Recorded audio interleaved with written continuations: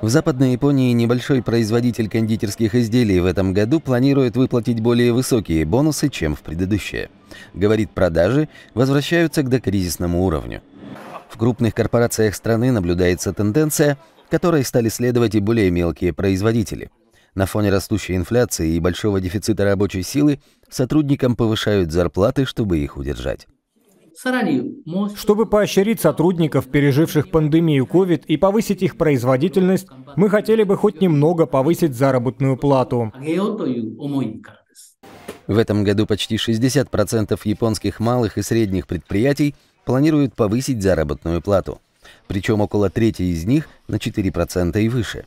Это хотят сделать путем выплаты более высоких бонусов и вознаграждений. Зарплата в Японии почти не росла со времен кризиса в 90-х но в последнее время она стала повышаться, поскольку компании вынуждены компенсировать работникам растущий прожиточный минимум. Более высокий бонус дает мне больше мотивации в работе, поэтому я очень довольна. Если возможно, я хочу использовать бонусную выплату для путешествий не только по Японии, но и за границу. Однако прогресс в повышении заработной платы может замедлиться, поскольку малым и средним предприятиям приходится бороться с растущими материальными затратами.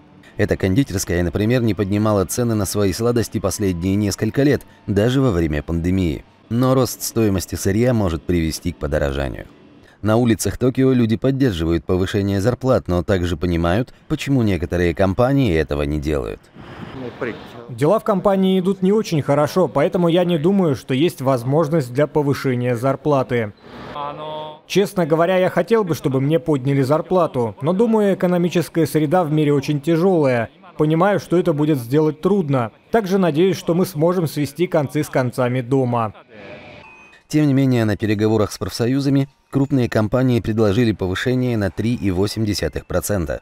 Это самое большое увеличение за 30 лет. Теперь главный вопрос, справятся ли с такой же задачей небольшие фирмы Японии, в которых трудится около 70% японских работников.